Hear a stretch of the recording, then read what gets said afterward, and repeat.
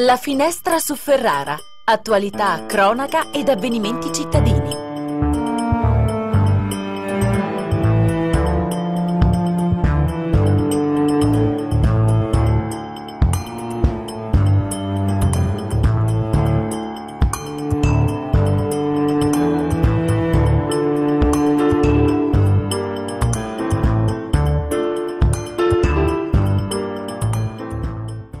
Bentrovati ad una nuova puntata della Finestra su Ferrara. Oggi parleremo dello sport estense e lo faremo con una gloria del nostro calcio bianco-azzurro che è Riccardo Cervellati, classe 1962, ruolo portiere. Tutti gli appassionati della SPAL naturalmente lo ricorderanno anche perché Riccardo, oltre ad essere stato un portiere della SPAL, è anche un nostro concittadino, è nato a Ferrara. Quando iniziano le tue passioni calcistiche, Riccardo? Cioè dove comincia il piccolo Riccardo a calciare il pallone. Innanzitutto ben trovati a tutti i radioascoltatori. Il mio calcio comincia come il calcio di tantissimi bambini di tanto tempo fa. Non c'era bisogno di nessuna scuola calcio, bastava scendere in strada o andare in un giardinetto e lì si cominciava a giocare per ore e ore. E trovavi a confrontarti con eh, bambini della tua età, con ragazzini più grandi e anche con adulti che ogni tanto partecipavano a partite con i bambini. Quindi è nato così. Poi dopo la parrocchia di San Benedetto Rovereto dove comunque c'era un campo da calcio, c'era una squadra della parrocchia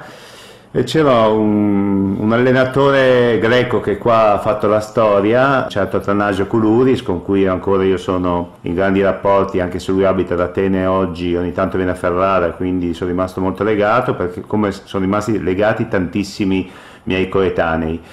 Quindi in maniera molto semplice lì ho cominciato a giocare, anche abbiamo il nostro torneo provinciale, poi quello regionale, come tutti quanti. Ecco. È chiaro che è molto diversa la situazione di allora rispetto a quella di adesso, è improponibile adesso pensare di cominciare a giocare a pallone in questa maniera, Adesso è necessario essere accompagnati, è necessario avere una struttura, è necessario avere una scuola calcio, è necessario avere degli allenatori. Noi invece siamo cresciuti diciamo un pochino più in maniera più facile, senza bisogno di tutto quanto, ci costruiamo noi l'allenatore, diventavamo noi allenatori noi stessi, ci costruiamo il campo e, e da lì forse tanti potevano crescere e migliorarsi proprio grazie a questo tipo di impostazione con cui si giocava a pallone. Se ricordo bene Riccardo, il campo di San Benedetto era un campo in terra battuta. Esattamente, e io facevo il portiere, quindi potete immaginare più che altro come potevo uscire ridotto dopo una partita, però c'era il suo fascino, anche in questo era un campo in terra battuta, allora i campi in erba sì, c'erano, ma non è che se ne trovassero quanti se ne trovano ora. E quindi ti adattavi un pochino a tutte le situazioni, era un campo che se ripenso adesso in che condizioni giocavamo allora, veramente c'è da prendersi paura, perché adesso i genitori sono allarmati per i loro figli quando entrano in un campo normale. Allora giocavamo sulla terra battuta, con eh, una tribunetta a ridosso del campo dove potevi inzuccarti tranquillamente con un marciapiede dall'altra parte capiamo che tutto poteva succedere, eh, però alla fine forse anche questo ti, mette, ti, permetteva di svegliarti velocemente e di adattarti a tutte quelle che erano situazioni anche difficili. Tra l'altro ricordo benissimo che nonostante il campo che tu hai descritto fosse veramente spartano, a San Benedetto si facevano dei tornei più prestigiosi di Ferrara, di calcio a sette. C'era Don Bosco, la famosa Don Bosco, che riempiva le tribune veramente nelle sere d'estate della parrocchia, quindi, ma la parrocchia era vissuta in maniera molto diversa, allora c'era una partecipazione totale che andava dalla messa a domenica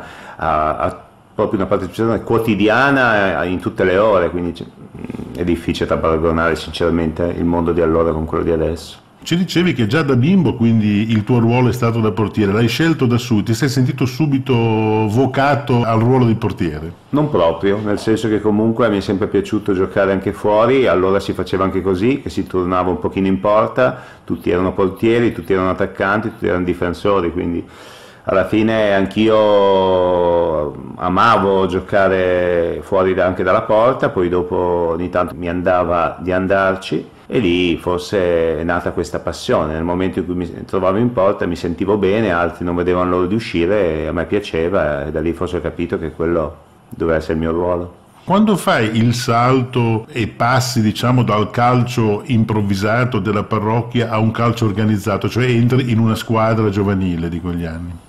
Beh, il passaggio importante al di là che sono andato a giocare un anno a 12 anni, 13 anni nell'Audax, che è un'altra squadra qua più o meno similare alla squadra delle Tusche, si chiamava così, quella della parrocchia San Benedetto. A 14 anni il vero salto è stato quando mi ha visto, c'erano comunque, eravamo queste squadrette abbastanza controllate dai responsabili del giovanile della SPAL, mi ha visto Luciano Cazzanti che era allora responsabile del giovanile della SPAL, e, sono andato a fare un provino alla SPAL, lì mi hanno preso, quindi io a 14 anni, 14-15 anni sono entrato dalla SPAL e poi ne sono uscito per la prima volta a 28, quindi ehm, se uno mi chiedesse cosa ho fatto per provare a fare il calciatore, devo dire che non ho fatto nulla, cioè, tutto è nato in maniera naturale, le cose che facevo, la passione, il divertimento mi ha portato naturalmente da essere un, da un ragazzino che giocava così per passione a poi a trasformare questa passione nel mio lavoro.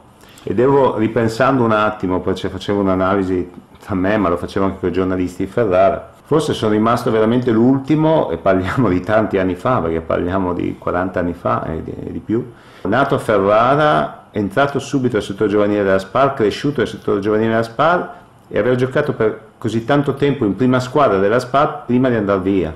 Gli altri magari sono cresciuti, hanno fatto anche qualche carriera migliore della mia, ma sono tipo Buriani, andati via subito, Franco Fabio anche lui a 19 anni e via via. Eh, non esiste forse un, ferrare, un, un, altro ferrarese proprio della città che ha fatto questo mio percorso interno a, a questa squadra con la continuità e trasformandosi da bambino a calciatore professionista proprio a Ferrara. Quindi tu sei veramente un prodotto, perdonami il termine accetto improprio, il termine, del, del, centro proprio di addestramento della SPAL, che in quegli anni era il fiore all'occhiello della città. Parliamo di una realtà straordinaria in quegli anni, anche perché sinceramente eravamo tutti ragazzi della zona o, o della provincia, sì, ce n'erano due o tre che venivano da fuori, mantenuti qua però tutti quanti eravamo ragazzi nati qui, proprio di Ferrara, cresciuti qua. Tanti hanno fatto carriera di questi, lo stesso Paramatti veniva da Salara, però è come se fosse un ferrarese, quelli che ho citato prima, ma anche quelli che hanno fatto un pochino, nella mia generazione comunque in quella squadra c'erano tanti ragazzi, Luca Negri, Altioli, Veronesi, gente che comunque ha fatto qualcosa anche a livello professionistico. Ora se io vado a vedere oggi cosa c'è nel settore giovanile della SPAL, ma non solo della SPAL, perché è purtroppo un fenomeno diffuso, nonostante si lavori molto bene, però è difficile trovare un ragazzino di Ferrara anche a 15-16 anni negli allievi, allora invece eravamo tutti ragazzi di Ferrara. Questo farà pensare che prima di rivedere un altro ferrarese giocare titolare nella SPAL, prima squadra, ci sarà tanto da aspettare. Anche se va detto però che oggi le giovanili della SPAL, proprio quelle anche dei bambini, sono abbastanza frequentate, insomma al centro vanno anche tante squadre di, di piccoli, insomma di bimbi di 7 anni, 8 anni. Ma l'impostazione è molto diversa, adesso esiste un'accademia della SPAL, esiste una scuola calcio della SPAL, allora non esisteva, ci andavi perché ti costruivi fuori e poi ci arrivavi a 14 anni, quindi è cambiato molto, sicuramente a livello, alla base, a livello sociale cioè, nei bambini, ci sono tanti bambini di Ferrara che iniziano e che vanno a giocare nella SPA, però dopo il percorso diventa un po' complicato e difficile, la selezione è molto forte, ne rimangono veramente pochi poi alla fine che riescono a continuare a giocare e arrivare, come dicevo prima, in prima squadra. Sì, allora poi se non ricordo male la SPAL già filtrava all'ingresso perché c'erano questi famosi provini di cui tu parlavi prima, che mi ricordo che insomma nel, mondo dei ragazzini di quegli anni erano molto importanti, tutti li aspettavano con apprensione, si iscrivevano e speravano di entrare in qualche modo nella famiglia bianco-azzurra. Oggi, come dici tu, giustamente partono dalla base, è cambiato ovviamente l'approccio al calcio, oggi l'approccio anche per un bambino è molto più organizzato rispetto ad allora quando c'era molta più spontaneità. Sì, è organizzato però molto più limitante a mio parere perché comunque l'organizzazione prevede anche più difficoltà nel fare le cose, meno tempo da dedicargli perché comunque allora si giocava veramente 4, 5, 6, 7 ore al giorno. Oggi si gioca per un bambino 3, per, sì, 6, 5 ore in una settimana capiamo benissimo la differenza sostanziale che esiste. Per far bene una cosa, per impararla bene, bisogna farla tante volte, non c'è verso. Non è che impari le cose in un'ora meglio di uno che la fa tutta la settimana. Quindi naturalmente è più difficile, era molto più semplice da un certo punto di vista imparare determinate cose, però allo stesso tempo tutto questo fatto comunque di trovarti anche per strada a giocare ti insegnava molto più di adesso, la scuola calcio era lì, eh, nel senso che comunque come dicevo prima ti trovavi con persone adulti ragazzi più grandi di te che non ci pensavano due volte a menarti, ti trovavi un albero in mezzo al campo, quindi dovevi essere sveglio a non sbatterci la testa. Comunque non avevi le maglie, non avevi casacche, dovevi conoscere i tuoi compagni tenendo la testa alta, dovevi conoscere gli avversari uguali. Tutte queste cose sviluppano poi delle capacità, senza che nessuno te lo insegni, ti fanno crescere. Questa è la, veramente la differenza sostanziale che esiste tra il calcio di allora e il calcio di adesso per i bambini. E non a caso arrivano molto più facilmente ragazzi che vengono dall'Africa, da territori dove ancora queste cose possono fare e lo spirito di adattamento alla situazione diventa molto più semplice per loro che per noi. Quindi diciamo che il rischio delle scuole di calcio sono che ti facciano crescere diciamo in modo scientifico, tra virgolette, ma che se c'è un vero talento rischi di essere standardizzato, cioè che venga in qualche modo intruppato nei metodi e quindi il talento magari abbia più difficoltà ad esprimersi. Talento si può riconoscere, comunque ci sono delle cose, dei fattori straordinari, anche naturali, che un bambino può avere il problema è che bisogna svilupparle queste cose qua, non limitarle, cioè, molto spesso la lacuna che proprio si nota è questa, che vogliamo trasformare i bambini in adulti, vogliamo far passare i concetti di calcio da adulti a dei bambini, invece eh, li roviniamo perché, perché alla fine dobbiamo lasciarli liberi di esprimersi in quelle che sono le migliori delle loro qualità, le migliori delle loro capacità Accanto a questo non, solo, non, partecipa solo la scuola calcio, non partecipa gli allenatori a, questo, a, creare questo problema, perché comunque chi ci allenava noi da 8 anni? Nessuno, ci allenavamo da soli, non c'avevamo bisogno di nessuno che ci suggerisse, era il nostro cervello che, che faceva crescere dentro di noi le qualità e la capacità. Oggi questa pressione addosso a questi bambini, dai allenatori, dai genitori, dai nonni, dai procuratori che arrivano a età allucinanti, fanno sì che il bambino si trovi in una situazione tale che non è verosimile, una situazione quasi da adulto e molto spesso sai cosa fa? Si stanca e dopo due o tre anni passa la passione e smetti di giocare. Tornando alla tua carriera, ci dicevi 14 anni in maglia bianco-azzurra, quindi dal tuo ingresso ancora adolescente all'interno della SPAL fino alla prima squadra. Qual è il ricordo più bello che tu hai di questo primo periodo alla SPAL e quello che diciamo in qualche modo consideri un, un brutto ricordo? Ma brutti ricordi in quel periodo assolutamente non ce ne sono, perché solo il fatto di poter indossare la maglia della SPAL, di condividere uno spogliatoio con tanti amici a mia età con cui siamo ancora legatissimi, perché sai quando passi dentro lo spogliatoio e dividi certe cose le ritrovi anche molto velocemente. Mi ricordo le due cose più importanti, una che è arrivata dopo, che è stato il mio esordio a 19 anni in Serie B, quando la Spal era ancora in Serie B, a Catania e non Catania Spal, e quello sicuramente è la prima volta che indosso la maglia Spal titolare della prima squadra, in realtà molto giovane anche per il ruolo e quindi me la ricordo molto bene. Proprio 3-4 partite dopo giocammo contro la Cremonese, mi fece gol un Vialli che era un ragazzino, Vialli un 64, da meno in me, l'ira di Dio, aveva 17 anni in un Cremonese Spal mi ricordo bene un suo gol. Però il ricordo veramente che mi fa più ridere eh, fu quello di due anni prima. In prima squadra eh, ci fu un problema dietro l'altro tutti i portieri. Prima il secondo portiere giocava Renzi allora, prima il secondo portiere, poi quelli della primavera, io giocavo negli allievi, ci fecero male tutti. Beh insomma, sabato mattina mi ricordo ancora, ero a scuola, al liceo, allora non c'era un cellulare, non c'era nulla, bussò al bidello, professoressa dobbiamo chiamarci Ravellati perché l'hanno chiamato dalla prima squadra della SPAL perché lei partiva con la prima squadra oggi si andava a Vicenza a giocare e io dovevo andare in panchina. Mi ricordo la sensazione ancora al banco proprio mi tremavano le gambe questa la verità. C'era l'emozione ma allo stesso tempo anche una grande paura. E mi ricordo anche come vissi la partita il giorno dopo perché comunque ogni volta che Renzi aveva un mezzo problema c'era veramente il contrasto pensare ma posso andare dentro io a 16 anni qua E quindi questo è veramente di quel momento lì, il momento di quel periodo, il momento che ancora ho il flash proprio di quella mattina. Quindi senti ancora l'emozione, la sì, forte sì, emozione. Tu rimani quindi 14 anni, abbiamo detto, nella SPAL. Cioè sono entrato a 14 anni, a 19 esordito, poi sono uscito per la prima volta a 26, a 26 feci 7 campionati nella SPAL professionista.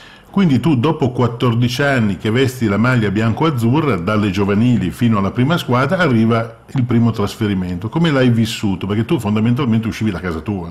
Ma c'è un passaggio che io mi ricordo bene, altri sono dimenticati. Quando io finì a 26 anni con la SPAL, ci fu un momento, un momento mio un po' particolare anche nei confronti del calcio. Mi richiese lo Spezia, però in quel momento lì mh, avevo un po' di nausea, diciamo così, perché venivo da un anno un po' difficile anche qua a Ferrara con la SPAL, poi mi ho riscritto all'università feci una scelta quasi di, non dico di mollare, ma arrivai quasi a quel punto, perché per un anno stetti fermo. Stetti fermo e privilegiai l'università. Era l'88, 88-89. Feci 4-5 esami all'università, andai avanti, quell'anno me l'ho preso proprio così, di, di stacco.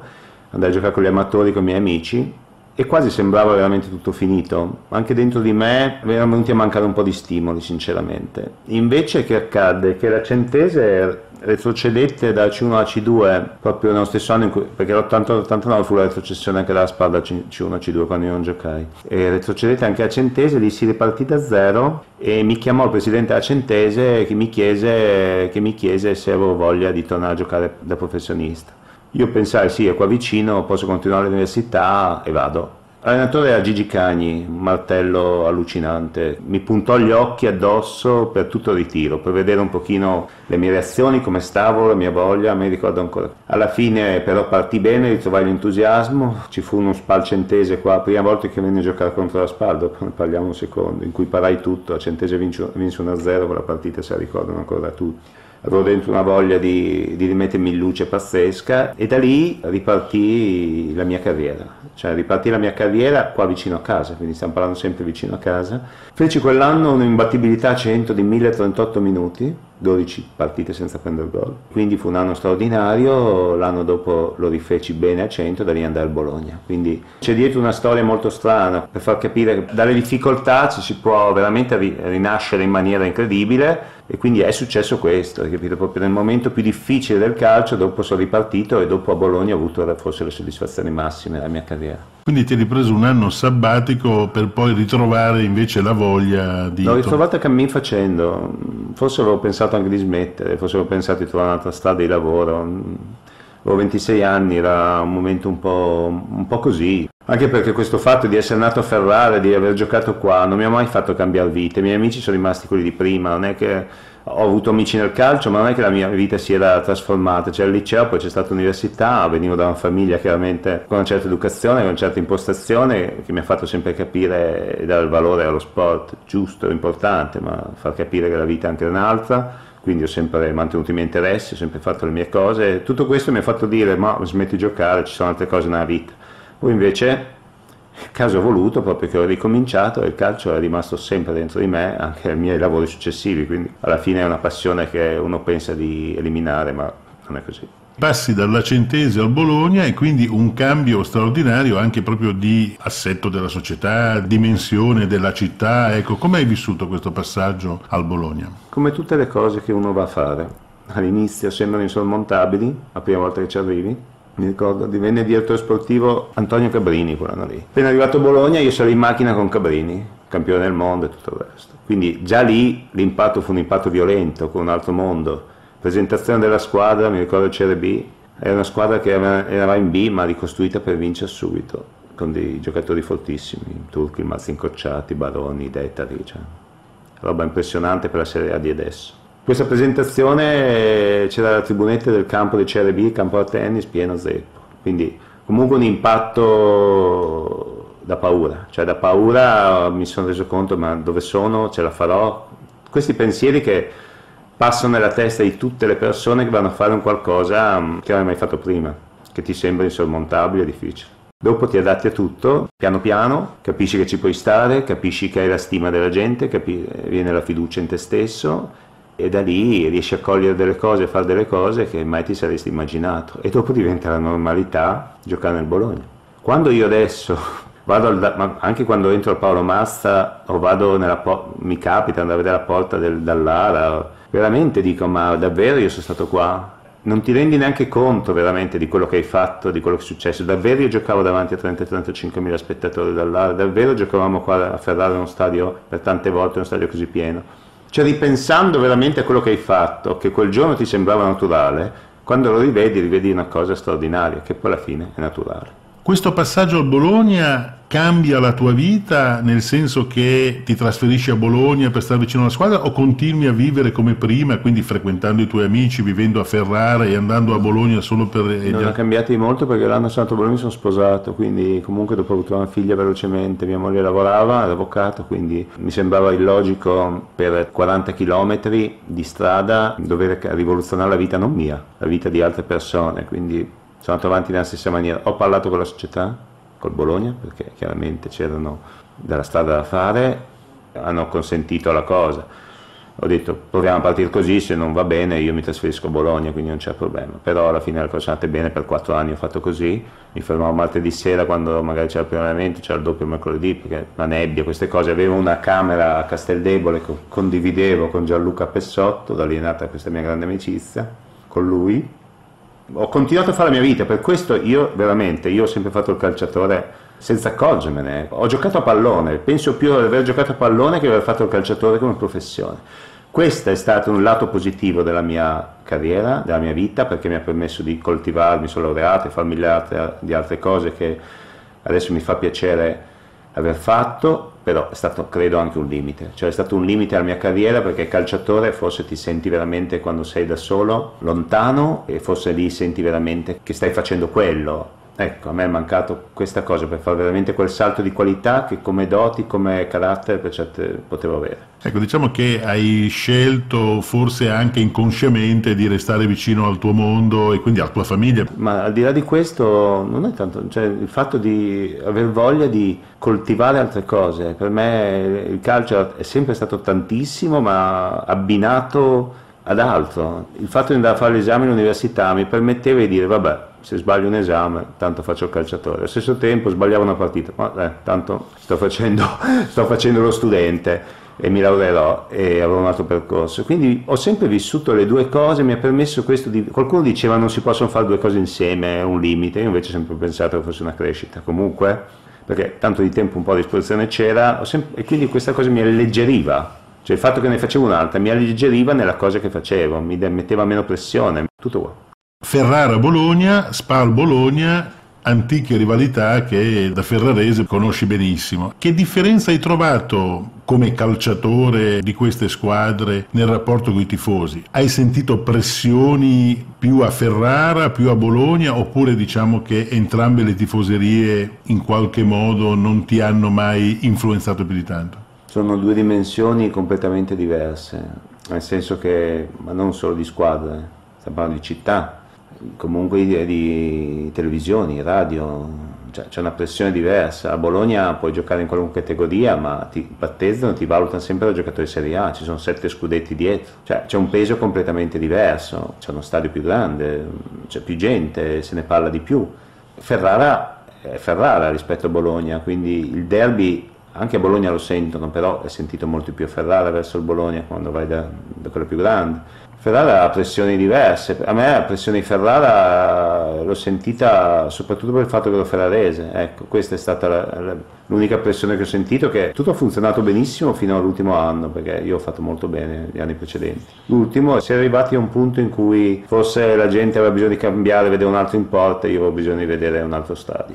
E quindi tutto qua, però non sono imparagonabili le due cose, cioè, non posso dire che ci sia una pressione dif- diversa, dico solo che c'è un ambiente diverso, una situazione diversa, difficile da confrontare perché Bologna è una grande città, Ferrara è una città un po' più, più di provincia e tutto questo anche nel calcio si manifesta scorrendo diciamo, gli anni della tua carriera, tu sei passato per diverso tempo Spalla, Centese, Bologna, quindi presumo, non, non ho fatto... Un raggio di 40 km. Esatto, ma, ma, ma beh, appunto è proprio per questo, presumo, non ho fatto i conti, ma penso di non sbagliare se dico che sei probabilmente il calciatore che ha giocato più derby eh, in, in, questo contesto. Spal Bologna sicuramente, perché tra panchina e titolare io li ho fatti tutti, perché una volta dalla Spa, cioè gli anni che ero a centro Spal Bologna non si incrociavano.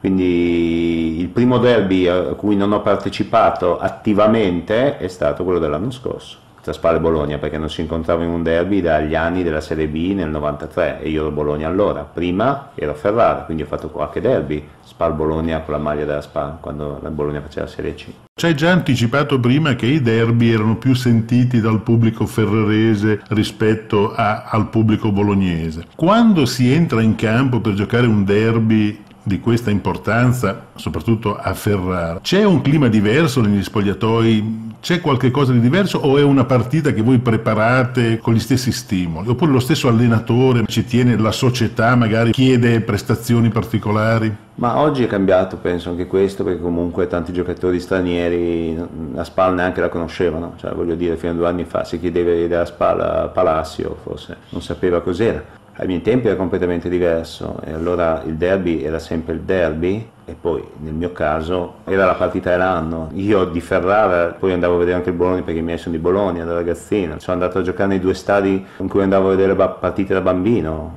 la Serie B qua a Ferrara, la A a Bologna e quindi sono riuscito a giocare proprio lì dentro, quindi per me era assolutamente la partita più importante dell'anno e continua a esserlo anche oggi quando si gioca a Spal Bologna. Per questo dico la rivalità è stupenda, ma io voglio veramente, tutti, anche i ferraresi, e i, bolognesi e i ferraresi, devono volere che l'altra squadra rimanga in Serie A, perché è molto più bello vedere Spal Bologna che Spal Empoli. E la stessa cosa è molto più bello Bologna Spal che Bologna Frosinone. Il fatto di dire non vediamo l'ora che il Bologna retroceda o a Bologna dicono che Bologna...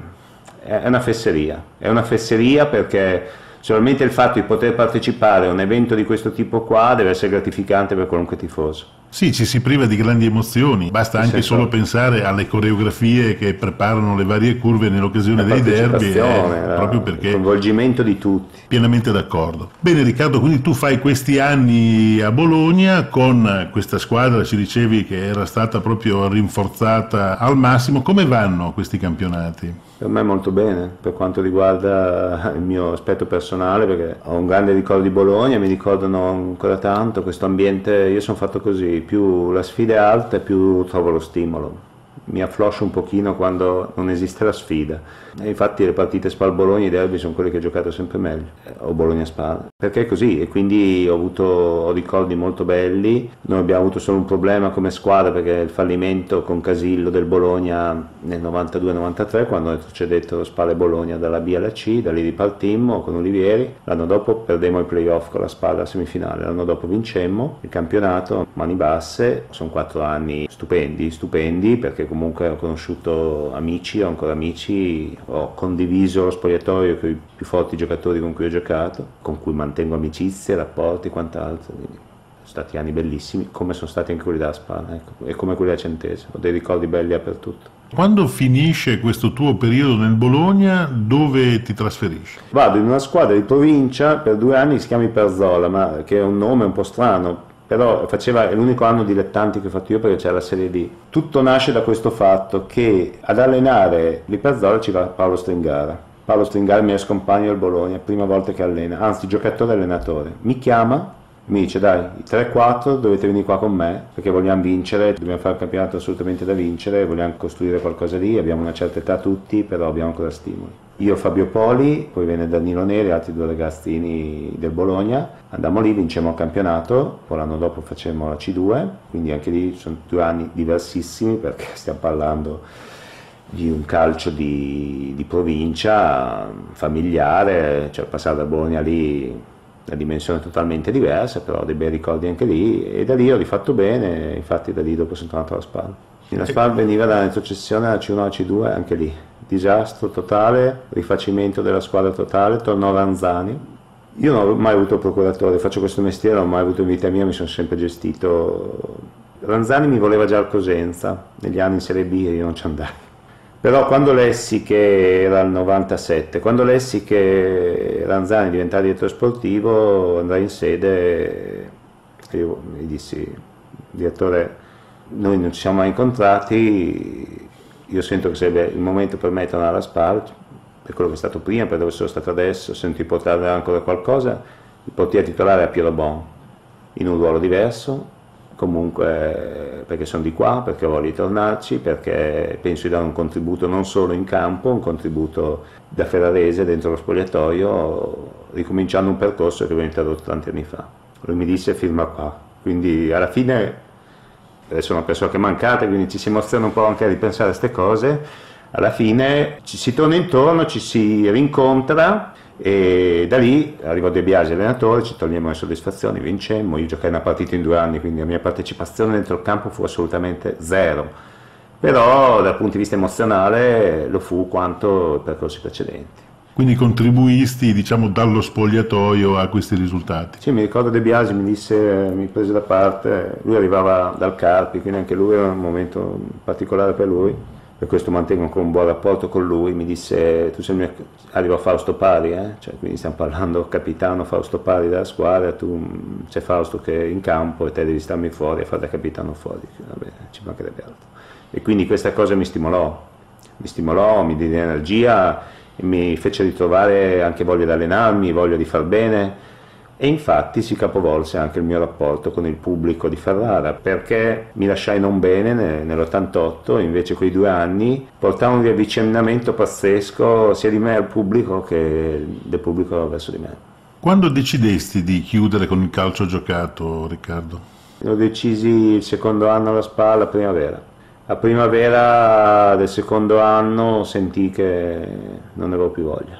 Non avevo più voglia non ero il tipo di dire vado a giocare in eccellenza, vado a giocare nei campionati dilettantistici, volevo finire bene, volevo finire in una squadra della mia città, volevo finire con qualcosa di importante senza andarmi a abbassare a, a giochicchiare da qualche altra parte, infatti l'anno dopo sai cosa facevo? Il centravanti al campionato amatori, quindi lì ci sono stato per 7-8 anni a fare il centravanti. Quindi sei tornato a giocare con gli amici? Sì, con gli amici ho staccato completamente, finito, finito, basta. Non, non conservo, devo conservo, credo che io conservi qualche foto, due maglie, roba così, non, più, non ho più guardato dietro, ho capito che al momento non c'avevo più stimoli proprio da allenarmi, avevo capito che avevo 38 anni, non, non avevo più voglia e ho detto cambio radicalmente la mia vita e anche le cose che vado a fare. E infatti ho detto anche non vado più in porta giocherò fuori, infatti con i miei amici ho giocato fuori e sono stato, nonostante io sia legato al ruolo del portiere al fascino di questo ruolo tantissimo, proprio per quello non volevo andarmi a sminuire e andarlo a fare in contesti in cui non aveva per me assolutamente senso. Ho giocato solo due partite da portiere, me lo possono chiedere tutti, non mi metterò mai in porta. Le uniche due sono state il centenario della SPAL e il centenario del Bologna, in cui dovevo farlo e l'ho fatto volentieri sei rimasto comunque all'interno del mondo del calcio. Oggi sei un professionista del settore e fai il procuratore. Che differenza c'è in questo ruolo dai tempi in cui tu eri calciatore ad oggi? Perché sono successe un mucchio di rivoluzioni. No, l'ho detto prima, io mi facevo anche da procuratore, non c'era bisogno di nulla. Chiaro che guadagnavi meno, non sapevi le squadre che ti volevano, ti facevi il tuo contratto a fine anno, anzi te lo faceva la società, ti diceva prendi questi però era tutto molto più semplice, con meno problemi. Io ho cominciato a fare il procuratore nel 2000, appena ho fatto l'esame l'ho passato subito, appena smesso di giocare. Era abbinato a un'altra attività che avevo già da anni nel campo assicurativo, sempre in ramo sportivo. ho cominciato con un grande entusiasmo, devo essere sincero, anche perché volevo comunque portare le mie teorie, il mio modo di essere anche in un mestiere molto criticato e per tanti anni le cose hanno dato soddisfazioni. Devo anche dire obiettivamente che oggi il mondo anche dei procuratori è peggiorato radicalmente e faccio fatica a starci dentro. Cioè con le mie idee, con, mie teorie, con il mio modo di fare veramente è una fatica abissale continuare a fare questo mestiere perché comunque non serve la serietà, non servono le competenze, sia dei commercianti. Ormai sono più forti i procuratori che non hanno giocato a calcio di quelli che hanno giocato, perché non pensano all'aspetto tecnico, pensano all'aspetto commerciale e, e basta, molto spesso si sbaglia la scelta. Però i giocatori vanno dietro e questo è lo scenario. Tutto questo, il fatto che il procuratore sia pronto, ogni, vediamo il caso Vandanara Icardi, sia pronto ogni secondo a difenderti, a far sì che diventi quasi il procuratore un appoggio totale nei momenti di difficoltà, secondo me fa crescere pochi ragazzi. Una volta i nostri problemi ce li risolvevamo in campo con l'allenatore. Io ho mai parlato dei miei problemi con l'allenatore con nessuno, mai pensato che mi teneva fuori perché eh, non ci fosse una ragione per cui stavo fuori. Stavo fuori perché l'altro andava meglio e quando mi meritavo giocavo.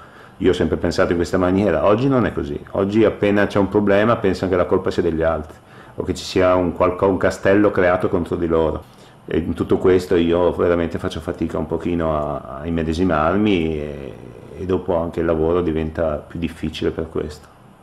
Bene, su queste considerazioni di Riccardo Cervellati si chiude il nostro programma. Ringrazio Riccardo Cervellati che ricordo è stato per molti anni portiere della nostra squadra cittadina, portiere bianco-azzurro, ma ha giocato anche in altre prestigiose piazze del calcio italiano. Riccardo Cervellati, vi dicevo, classe 1962, nostro concittadino e talento ferrarese. Grazie a tutti voi per averci seguito fino qui e a risentirci alla prossima puntata della Finestra su Ferrara. Ferrara.